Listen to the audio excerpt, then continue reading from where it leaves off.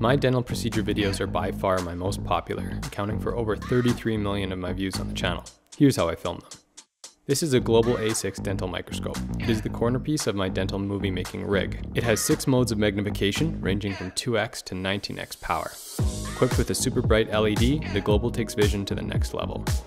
However, the scope itself is just a set of optics and a light. It actually has no inherent ability to record any video at all. That's where the Canon R3 comes in. The first non-cinema Canon camera to skip the half-hour record limit, the R3 is unbelievable when paired with the Global A6 for longer procedures. This is an upgrade though. Before I got the R3, I used a Sony A7.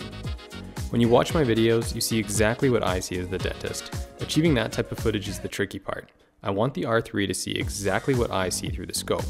In order to do that, we need to find a way to connect the camera to the microscope. I use a beam splitter and full frame phototube adapter to ensure the light illuminating the tooth I'm working on reaches both my eyes and the camera sensor. A simple adapter connects the R3 to the other end of the phototube adapter. I hook up an HDMI cable from the camera to an external monitor to ensure what I see matches the screen.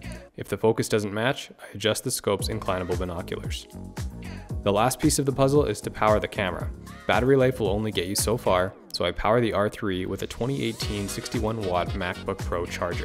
A USB-C cord runs from the camera up into the arm where a built-in power source is housed. Voila, constant power. Then, it's just a matter of hitting record and doing the procedure under the scope. Unfortunately, that's easier said than done. Working with the scope is tricky and training can shorten your learning curve.